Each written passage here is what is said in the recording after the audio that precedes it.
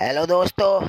अगर अभी तक आपने हमारा चैनल सब्सक्राइब नहीं किया तो अभी करें और बेल आइकन को प्रेस करें ताकि रोज़ाना वाली नोटिफिकेशन आपको टाइम पर मिल जाए